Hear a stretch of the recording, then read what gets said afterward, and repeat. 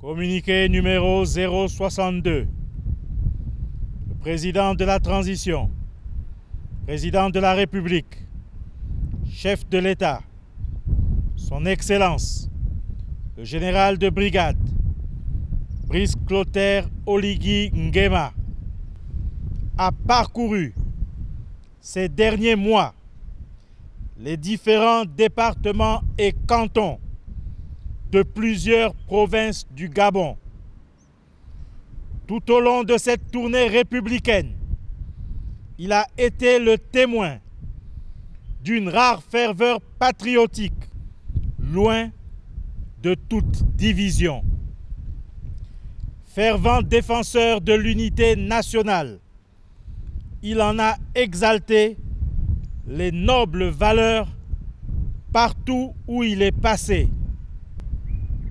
C'est pourquoi il ne peut que condamner avec la plus grande fermeté un certain nombre de dérives constatées depuis quelque temps.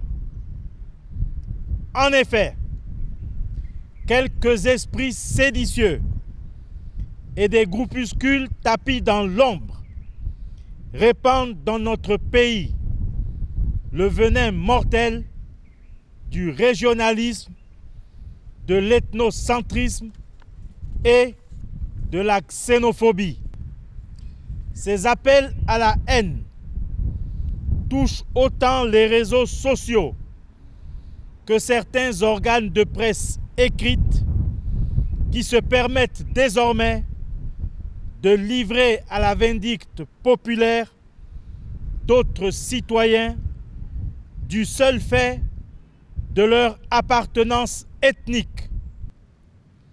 De telles pratiques porteuses de haine et de division menacent la paix et l'unité de notre nation et doivent être combattues pour éviter à notre cher pays de connaître les affres des conflits fraticides qui jalonne l'histoire des peuples.